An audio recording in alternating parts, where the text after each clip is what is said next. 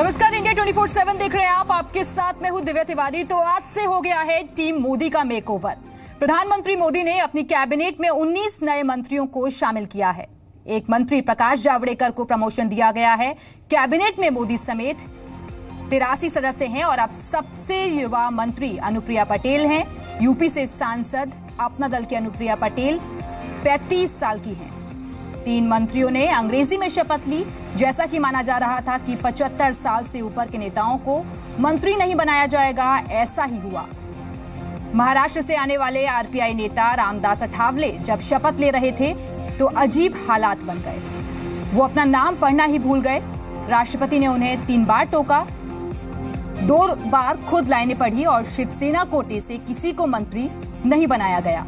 आपको बता दें कि मई 2014 में सरकार बनने के बाद पिछला और इकलौता फेरबदल नवंबर 2014 में हुआ था। इस बदलाव से पहले मोदी ने कहा कि इसे फेरबदल नहीं, विस्तार कहिए।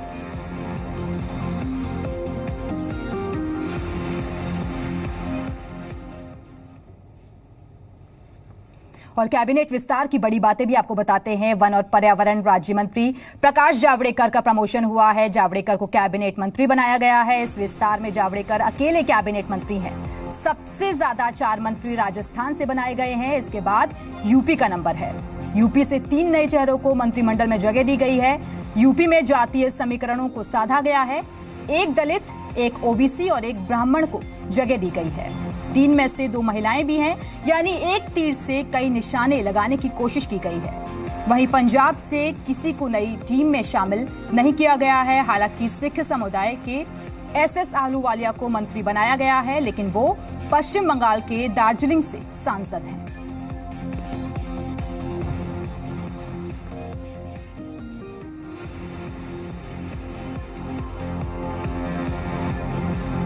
तो आपको बता दें कि प्रधानमंत्री नरेंद्र मोदी की नई टीम बन चुकी है। आज कैबिनेट का विस्तार हुआ, जिसमें सबसे ज़्यादा जगह जो दी गई है, वो राजस्थान को दी गई है, यानी कि चार राज्य मंत्री राजस्थान से बने हैं और इसके बाद यूपी से तीन मंत्रियों को जगह दी गई है, महिलाओं को भी खासी तरजीह दी गई है। मैं मैं प्रकाश केशव जावड़ेकर ईश्वर की शपथ लेता हूँ कि विधि द्वारा स्थापित भारत के संविधान के प्रति सच्ची श्रद्धा और निष्ठा रखूँगा। मैं भारत की प्रभुता और अखंडता अक्षुण्ण रखूँगा। मैं संघ के मंत्री के रूप में अपने कर्तव्यों का श्रद्धापूर्वक और शुद्ध अंतकरण से निर्वाहन करूँगा तथा मैं भय या पक्षपात अनुराग या द्वेष के बिना सभी प्रकार के लोगों के प्रति संविधान और विधि के अनुसार न्याय करूँगा। मैं मैं प्रकाश केशव जावड़ेकर ईश्वर की शपथ लेता हूँ कि जो विषय संघ के मंत्री के रूप में मेरे विचार के लिए लाया जाएगा अथवा मुझे ज्ञात होगा उसे किसी व्यक्ति या व्यक्तियों को तब के सिवाय जबकि ऐसे मंत्री के रूप में अपने कर्तव्यों के सम्यक निर्वहन के लिए ऐसा करना अपेक्षित हो, मैं प्रत्यक्ष अथवा अप्रत्यक्ष रूप से संसूचित या प्रकट नहीं करूँगा। MJ Akbar do swear in the name of God that I will bear true faith and allegiance to the Constitution of India as by law established that I will uphold the sovereignty and integrity of India that I will faithfully and conscientiously discharge my duties as a Minister of State for the Union, and that I will do right to all manner of people in accordance with the Constitution and the law, without fear or favor, affection or ill will. I I, M.J. Akbar, do swear in the name of God that I will not directly or indirectly communicate or reveal to any person or persons any matter which shall be brought under my consideration or shall become known to me as a Minister of State for the Union, except as may be required for the due discharge of my duties as such Minister of State. मैं अनुप्रिया सिंह पटेल सत्यनिष्ठा से प्रतिज्ञान करती हूँ कि मैं विधि द्वारा स्थापित भारत के संविधान के प्रति सच्ची श्रद्धा और निष्ठा रखूँगी मैं भारत की प्रभुता और अखंडता अक्षुण रखूँगी। मैं संघ के राज्य मंत्री के रूप में अपने कर्तव्यों का श्रद्धा पूर्वक और शुद्ध अंतकरण से निर्वहन करूँगी तथा मैं भय या पक्षपात अनुराग या द्वेष के बिना सभी प्रकार के लोगों के प्रति संविधान और विधि के अनुसार न्याय करूँगी। मैं? मैं अनुप्रिया सिंह पटेल सत्यनिष्ठा से प्रतिज्ञान करती हूँ कि जो विषय संघ के राज्य मंत्री के रूप में मेरे विचार के लिए लाया जाएगा अथवा मुझे ज्ञात होगा, उसे किसी व्यक्ति या व्यक्तियों को तब के सिवाय जबकि ऐसे राज्य मंत्री के रूप में अपने कर्तव्यों के सम्यक निर्वहन के लिए ऐसा करना अपेक्षित हो, मैं प्रत्यक्ष अथवा अप्रत्यक्ष रूप से संसूचित या प्रकट नहीं करूँगी। और इस वक्त हमारे साथ हमारे एडिटर वासिंद्र मिश्र जी हमारे साथ जुड़ गए हैं। वासिंद्र जी, जिस तरीके से टीम मोदी का मेकओवर हुआ है, इसको कितना बैलेंस्ड हम देखें? देखिए, एक बात सच है कि जिन लोगों को मंत्री बनाया गया है ज़्यादातर लोग ऐसे हैं जिनकी छवि बेदाग है पढ़े लिखे लोग हैं और अपने अपने क्षेत्र में एक्सपर्ट माने जाते हैं। राजनीतिक तौर पर भी अगर हम कहें तो बहुत सारे ऐसे लोग हैं जिनका कि अपने समाज में और अपने बिरादरी में एक अलग पहचान है और उनको मंत्रिमंडल में शामिल करने से भारतीय जनता पार्टी को उन राज्यों में राजनीतिक फ़ायदा भी मिलेगा। उदाहरण के तौर पर अगर हम उत्तर प्रदेश की बात करें तो उत्तर प्रदेश से अनुप्रिया पटेल मोदी मंत्रिमंडल की सबसे कम उम्र की मंत्री हैं। लेकिन इसके अलावा जो उनकी योग्यता है कि वो बहुत एक पढ़ी लिखी महिला है और उनके पिता भी जो कुर्मी पटेल बिरादरी थी उसमें एक बहुत ही रिस्पेक्टेबल नाम था और उन्होंने अपना एक राजनीतिक दल बना के उस बिरादरी में एक अलग पहचान कायम की थी जी। और अनुप्रिया पटेल को मंत्रिमंडल में शामिल करने से जहाँ एक तरफ़ भारतीय जनता पार्टी को उत्तर प्रदेश के चुनाव में उनके बिरादरी का वोट मिलना और आसान हो जाएगा वहीं दूसरी तरफ़ एक ये भी संदेश गया है कि भारतीय जनता पार्टी के अंदर पहले से मौजूद जो कुर्मी पटेल बिरादरी के लोग थे उन, उनका रेलिवेंस भी काफ़ी हद तक अब कम हो गया है। चाहे वो ओम प्रकाश सिंह हो या विनय कटियार हो इस तरह के बहुत सारे नेता थे जो कि कुर्मी बिरादरी से आते थे पटेल बिरादरी से आते थे और भारतीय जनता पार्टी में एक लंबे समय तक ए, उनका काफ़ी महत्वपूर्ण स्थान रहा।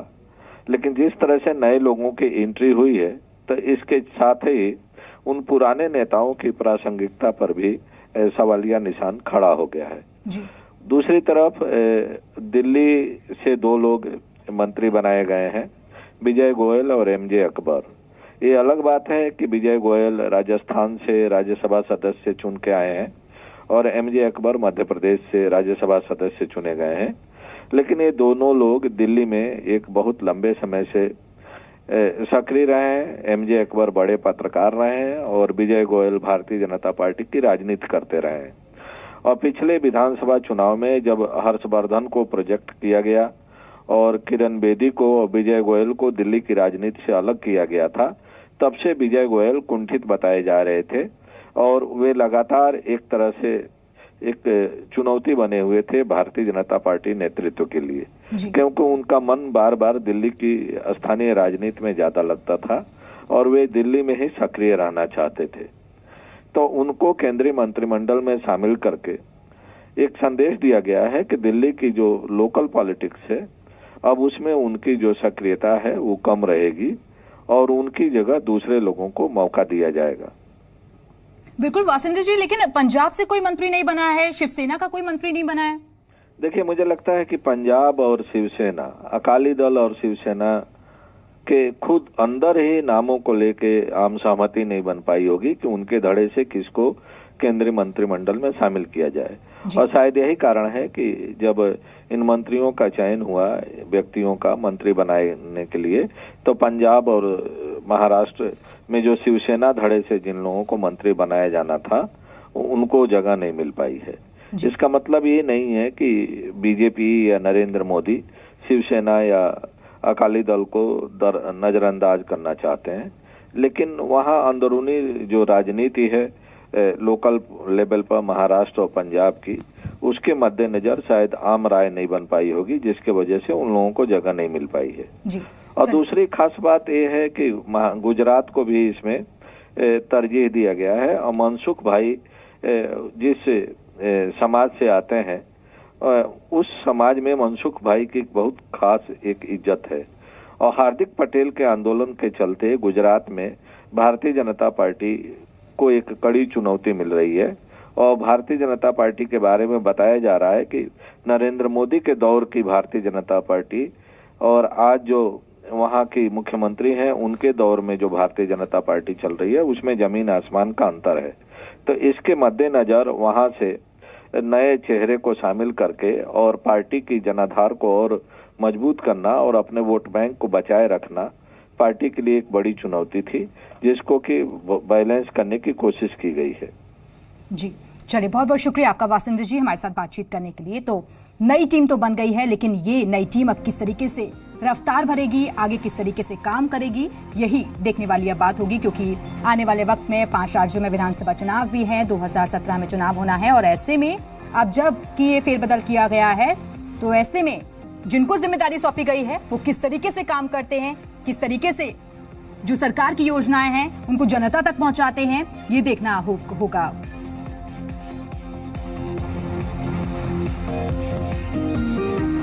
और इस वक्त की बड़ी खबर आपको बता दें कि मोदी कैबिनेट से पाँच मंत्रियों का इस्तीफा की भी खबर इस वक्त सामने आ रही है यानी कि मोदी मंत्रिमंडल से पाँच मंत्रियों की छुट्टी हो गई है।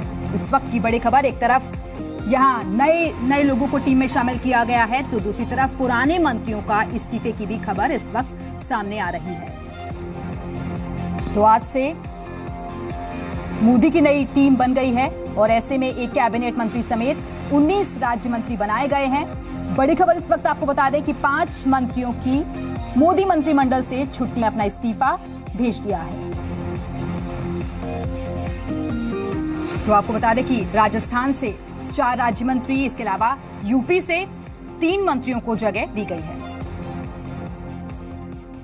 इससे पहले नए नए मंत्री बने अर्जुन मेघवाल और मनसुख मंदाविया शपथ ग्रहण समारोह में हिस्सा लेने के लिए साइकिल से राष्ट्रपति भवन पहुँचे।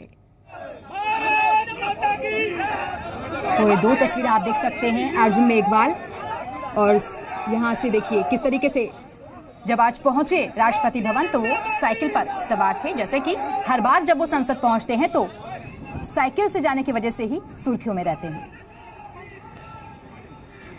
तो राज्य मंत्री के तौर पर अर्जुन मेघवाल ने भी शपथ ली है। साइकिल वाले सांसद के तौर पर ये मशहूर हैं, बीकानेर से सांसद।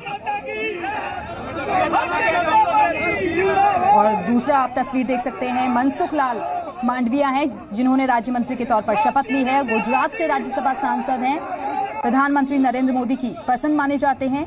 ये भी साइकिल वाले मंत्री कहे जाते हैं। देखिए किस तरीके से ये साइकिल में सवार होकर आज राष्ट्रपति भवन पहुँचे थे।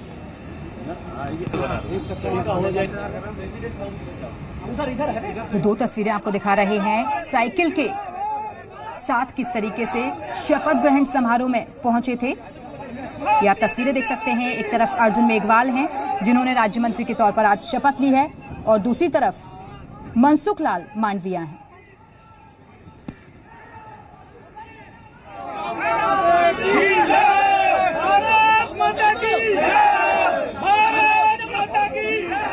तो ये देखिए अपने समर्थकों के साथ, वो शपथ ग्रहण समारोह में शामिल होने के लिए पहुँचे थे। और दूसरी तस्वीर मनसुख लाल मांडविया की है। जो कि गुजरात से राज्यसभा सांसद हैं और प्रधानमंत्री नरेंद्र मोदी की पसंद माने जाते हैं, ये भी साइकिल वाले सांसद के तौर पर मशहूर हैं। तो जहाँ एक तरफ़ लोग गाड़ियों का इस्तेमाल करते हैं, जो सांसद हैं, वो गाड़ियों से पहुँचते हैं, लेकिन ये दो तस्वीरों को देखकर आप अंदाज़ा लगा सकते हैं कि कितना साधारण जीवन ये लोग जीते हैं, जिसके चलते ये लोग साइकिल से शपथ ग्रहण समारोह में शामिल होने के लिए राष्ट्रपति भवन पहुँचे। और इसी खबर पर औजदा बातचीत के लिए इस वक्त हमारे संवाददाता अनुराग चड्ढा हमारे साथ जुड़ गए हैं। अनुराग, मोदी की नई टीम को किस तरीके से देखें? प्रधानमंत्री टीम है, पूरी तरह से ये वो लोग हैं जो बीजेपी की जो सेकंड लीडरशिप थी, उसमें ये रहते थे, जो हाई प्रोफ़ाइल सांसद थे, उनको जगह नहीं दी गई। अगर हम उत्तर प्रदेश की बात करें तो यहाँ यहाँ पर योगी आदित्यनाथ का नाम सामने आ रहा था, और भी कई बड़े नाम सामने आ रहे थे, लेकिन सभी के नामों पर विराम लगाया गया। और जिन लोगों का अपने अपने एरियाज़ में वर्चस्व है, अपनी जाति पर पकड़ रखते हैं, वो ट्रांसफ़र कराने की क्षमता रखते हैं, कहीं ना कहीं उनको तरजीह दी गई है। और अगर हम बात करें जिन मंत्रियों को हटाया गया है, उनमें एक तो रामशंकर कठेरिया का नाम है निहाल चंद का नाम है और रामशंकर कठेरिया का हटाने के पीछे कारण ये माना जा रहा है। कि एक तो जो उनको संगठन की ज़िम्मेदारी दी गई थी पहले उसमें उन्होंने काफ़ी कामकाज करना बंद कर दिया था और जो उनकी ऊपर मिनिस्टर थी यानी कि स्मृति ईरानी उनके साथ भी उनका तालमेल अच्छा नहीं था इसके अलावा जो निहाल चंद है उनके साथ अलग तरीके के विवाद रहे काफ़ी विवादास्पद मंत्री थे इसलिए उनको हटाया गया तो अ, चेहरों को जगह दी गई है। तो और और जो जो लोग हैं अगर उनकी एजुकेशन की प्रोफ़ाइल की बात करें तो सभी लोग पढ़े लिखे हैं और अपने अपने क्षेत्रों में अ, इनको महारत हासिल है। जी। जी बिल्कुल अनुराग और पाँच नाम सामने आ रहे थे वो दो नाम और कौन से हैं? देखिए पाँच मंत्रियों को हटाया गया है दो मंत्रियों के नाम अभी साफ़ तौर पर निकल कर सामने आया आ गए हैं। अभी रामचंद्र कठेरिया से हम लोगों ने बात की थी ऑफ़ रिकॉर्ड। सुबह के वक्त उन्होंने कहा कि जो संगठन में ज़िम्मेदारी दी जाएगी मुझे पूरी तरह से मंजूर है और किसी तरह का कोई विरोध नहीं है। लेकिन जो हमारे सोर्सेस हैं वो बताते हैं कि जिन लोगों को मंत्रियों को हटाया गया था उनमें से दो मंत्री रामचंद्र कठेरिया के रात घर पर आए थे और उनसे कहा था कि हमें हमारा अपमान हुआ है तो हमें शपथ ग्रहण समारोह में नहीं जाना चाहिए। लेकिन बाद में सहमति बनी और रामचंद्र कठेरिया ने तो अपनी गाड़ी तक सरेंडर कर दी थी और बिल्कुल अनुराग रामशंकर कठेरिया ने। ये कहा भी था कि उन्हें हटाया जा सकता है। क्या ये माना जाए जिस तरीके से लगातार वो बयानबाजी कर रहे थे वही वजह बनी उनके इस्तीफे की भी? जी बिल्कुल लगातार बयानबाजी उल्टे सीधे जो बयान देना और कहीं ना कहीं वो हटने का कारण बना। इसके अलावा जो संगठन की तरफ़ से और सरकार की तरफ़ से जो मंत्रियों के कामकाज की समीक्षा की गई थी उसमें भी उनके ऊपर कई तरह के आरोप लगे थे तो इसलिए उनको हटाया गया। और अगर हम बात करें विरोध की तो कल भी हम लोगों ने इस बात की जानकारी दर्शकों को दी थी कि विरोध बड़े स्तर पर होगा लेकिन आज जो अ, अगर हम रामचंद्र कठेर की बात करें तो उन्होंने पूरी तरह से मन बना लिया था कि वो शपथ ग्रहण समारोह में नहीं जाएँगे, लेकिन जो संजीव बालियान केंद्रीय राज्य मंत्री हैं, वो उनके घर पर गए और वो उनको अपनी गाड़ी में बैठाकर अपने साथ ले गए। तो ठीक उसी तरीके से बाकी जो मंत्री हैं गया है तो उनको भी कोई ना कोई मंत्री साथ लेकर गया। तो कहीं ना कहीं विरोध के स्वर न उसकी ज़िम्मेदारी भी जो बीजेपी आलाकमान नेता है उन्होंने दूसरे सांसदों को दी है मंत्रियों को दी है। देखना होगा कि आने वाले वक्त में जब ये लोग अपने घर बैठेंगे अपने क्षेत्र के कार्यकर्ता मिलेंगे तो किस तरह का बयान ये लोग देते हैं? बिल, बिल्कुल अनुराग और ये भी कहा जा रहा था कि पिछहत्तर वर्ष से ज़्यादा के जो लोग होंगे उनको हटाया जा सकता है क्या? ये भी एक कारण माने इसमें? जी बिल्कुल पचहत्तर वर्ष से ज़्यादा उनका जिनकी एज है उनको बताया जा सकता है, लेकिन अगर हम बात करें तो उनकी एज तो काफ़ी कम है, और अगर हम उनके वोट बैंक की बात करें तो अपने आस में और आसपास की सीधे मायावती बीजेपी के ऐसे अकेले नेता जिनको शंकर कठेरिया चलिए, बहुत बहुत शुक्रिया आपका अनुराग इस जानकारी के लिए। तो आपको बता दें कि सावालाल जाट को भी हटा दिया गया है। पाँच मंत्रियों ने मंत्रिमंडल से इस्तीफा दे दिया है, मनसुख भाई वासवा और एम के कुंडरिया को भी हटाया गया है।